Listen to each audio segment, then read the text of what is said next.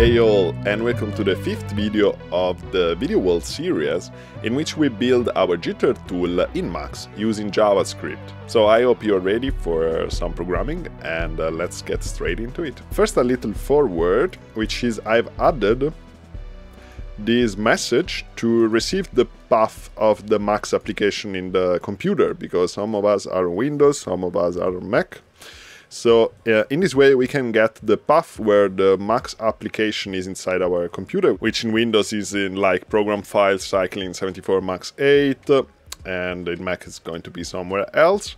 So if we create a receiver and we send the, the um, app path to this receiver, then we can get the, the path to the application, which we then uh, we can uh, simply sprint to get the folder where the videos are so this is kind of an inter-platform way to get the path of the video folders uh, of the built-in videos in Max. Great. So when we click on this bang, it's going to basically to load the movies inside our JavaScript. Great. So what we're going to do in this video is to place those movies in a grid so that this will look uh, very neat and nice. So let's do that. Let me get my code. So before we do that, there is something pretty important that we have to do which is uh, uh, in JavaScript, in Max, when we instantiate objects in JavaScript, these objects are actually um, kind of pointers to C objects that uh, are created by Max. So when we delete the JavaScript object in the patch, it's actually not going to delete from the memory of the computer those objects. They're going to still be there and are going to occupy our RAM. So in order to fix that, we have to delete those objects manually every time we delete a JavaScript object. So there is a function for that in uh, JavaScript, which is function notify deleted,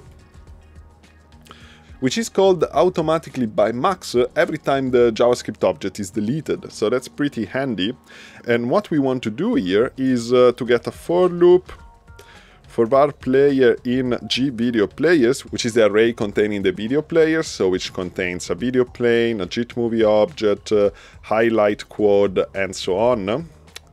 So we have to basically say that this G video players player, it's going to um, must free its content. Now we have to create this function uh, called free so that we can call it uh, from our main code. So we go inside our uh, our video player class, we create a new function, so this dot free equal function, doesn't take any argument. And what we want to do is to say we have to free the memory of all these objects. So we have to say this movie player dot free peer. That's the max function that, uh, that deletes the C object itself. Great. Then we want to delete also the video plane. So this dot video plane dot free peer. And then we got to delete also the the quad. So this highlight quad dot free peer. Okay great. So now this function gets called every time the javascript object is deleted so we can free the memory. Great. So actually we should free those objects also every time we provide a new folder for the um, for the object because it could be that there are less videos in the new folder so this will uh, result in the memory still being occupied by the older videos. So let's create another function and call it function free video players. And that's basically uh, that's basically what we already wrote. So we create another function that we can call by itself here. And we have to do it also here in the load folder function before we actually set the array to an empty array. So in this way, it's going to be um, first freed and then empty. So free video players, great. And then we can empty the array. Good, and we need also to free all the jitter objects up here. So we got a node, we got the camera node, master plane, dummy node, and dummy camera. So let's create another function and call it uh, free jitter objects, basically. And we have to basically get all their names and, for example, we have a node object, and then we have to call the free peer function on all of those. So we got a node, we got a camera node, dot free peer. Then we got uh, master plane. This is our video plane. Dot free peer. And then we got uh, also, we could actually do um, this. So we have it on two different sides, it's pretty handy.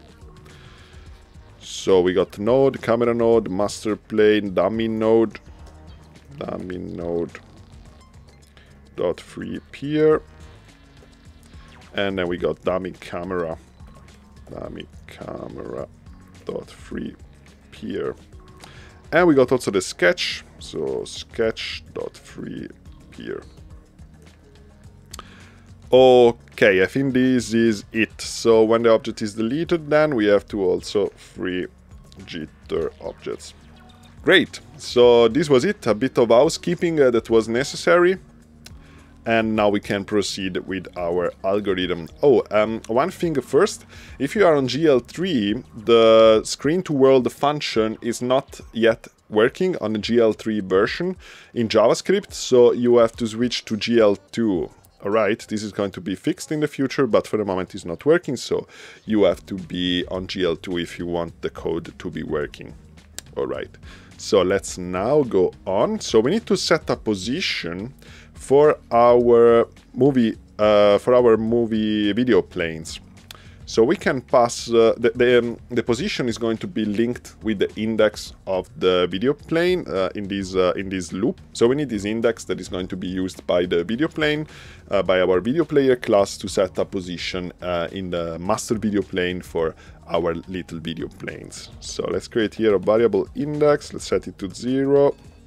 And every time we find a new file in the folder, then we have to increase the value of the index by one. Great.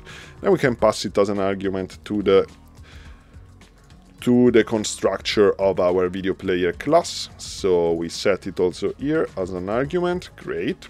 And the position now, instead of being a random array, we have to base it on this index.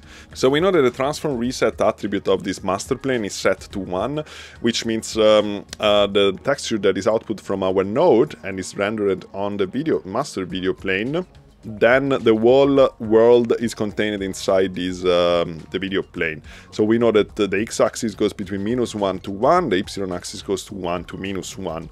So about starting from that we have to base um, the position of the video plane. So for example we say that we want to have the first video on the left corner. So we want to take the modulo of the index between one and uh, how many video planes we can place on our um, master plane and uh, and then scale it between minus one and one so to know how many video planes we can place in the master plane, we have to see uh, how big are those mini planes, so which are 0.2, the scale of them. So basically, if we divide 1 by 0.2, we know how many video planes we can get in the master plane, which is basically 5. So we can do like this. We can take the index uh, modulo of 1 divided by this scale, right? So this is going to be the modulo. So in this way we have numbers that go between 0 and 4. Now we, we need to scale that between minus 1 and 1. So first I will probably... Um, let's actually create a new variable and call it like how many video planes, which means basically how many video planes we can place uh, uh, on the x axis of our master plane. And this is going to be E1 divided by this dot scale. Uh, maybe let's call it like number of video planes, right? So basically we have to take the modulo of that. Um, so index modulo of how many video planes we can have. And these all must be divided by number of video planes uh, minus 1 though, because we want that this number goes between 0 and 1. So if we divide it simply by number of video planes, which is 5, this will never arrive to 1, because the modulo goes between 0 and 4. So we need to divide it between the number of video planes minus 1, which is 4. So we divide it by the maximum amount that this number can reach. Good. And then we basically, this goes between minus 1 and 1, we have to uh, multiply it by 2 and then subtract 1 to this whole thing. So now it should go between minus 1 and 1. So let's try to actually set this as the new position. Uh, for the x and the zeta, we just leave at 0. Let's save here. Let's go on uh, our patch. Let's load the videos. Let's see what we get. So we can see that they are distantiated, which is not what we want. We don't want that they are distantiated. They must be connected to each other, so they must be completely attached one to the others. So there is something wrong here. Uh, which is, I think, that we don't want to multiply it by 2, because um, we don't want to go between minus 1 and 1. Actually, we want to go between minus 1 plus the scale, so half of the size of the mini video plane, um, to 1 minus half of the size of the mini video plane. So let's do like this.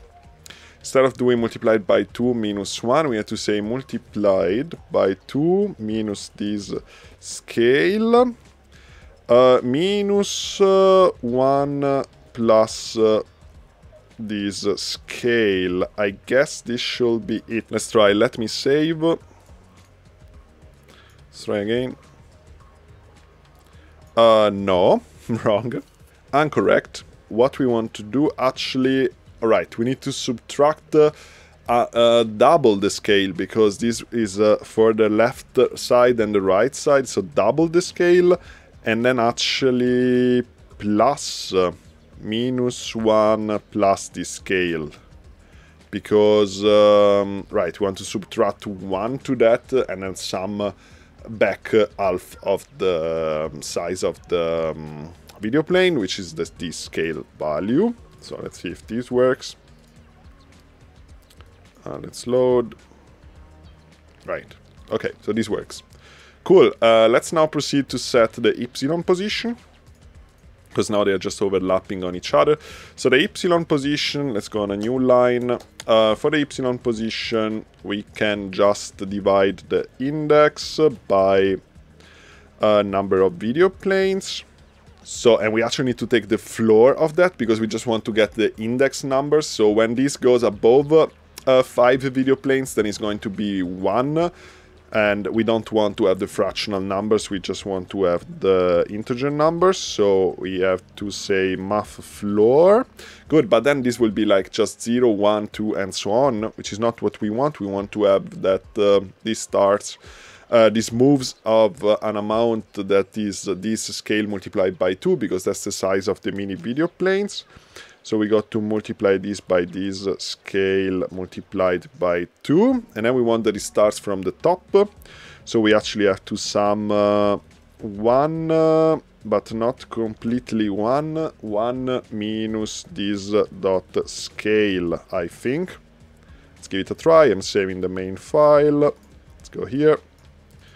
Uh, let's check. No. Maybe we need to actually subtract 1. Maybe we need to subtract one. Uh, let's try.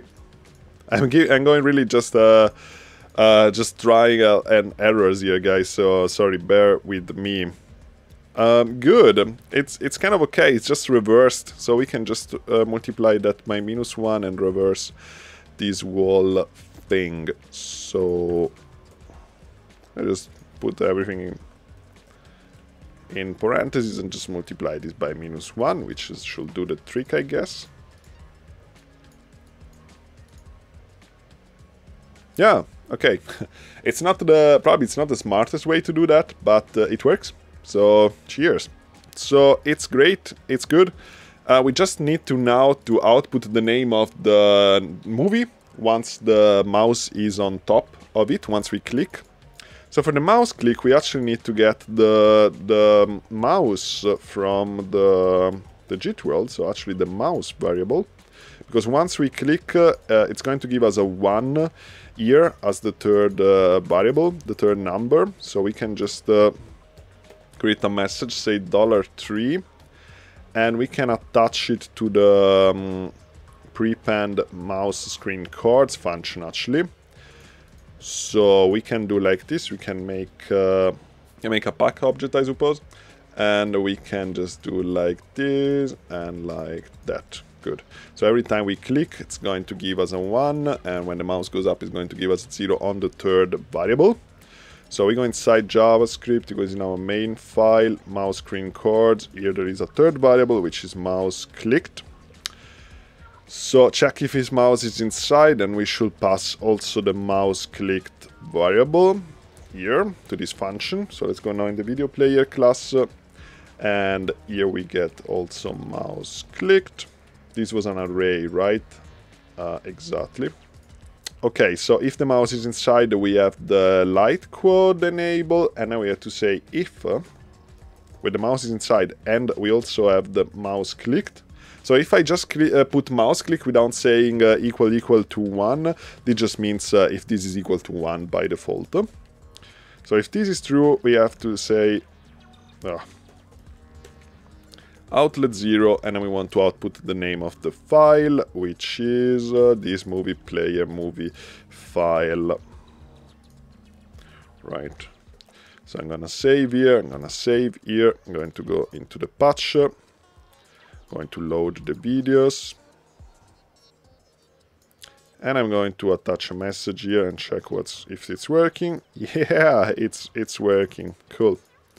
Uh, we could output the whole movie path but maybe we are going to do it next time. I think uh, you should be able to do it uh, this yourself, but uh, I think we're going to do it next time because this video is getting very long. And next time we're going to add a little more refinishment and, uh, and make this thing nice. But uh, for the moment it's uh, working pretty well, right? We click on the video. With our mouse we get the name of the video out of here, which then we can use to do whatever we want. So mission accomplished for the moment, fellas. Um, very proud of you that you followed until here. Uh, if you have questions or stuff that was not clear, please uh, let me know, and feedback, whatever, is always welcomed. Check the Patreon for the patch to download it, and uh, yeah, see you in the next video. Thank you so much for watching. Ciao.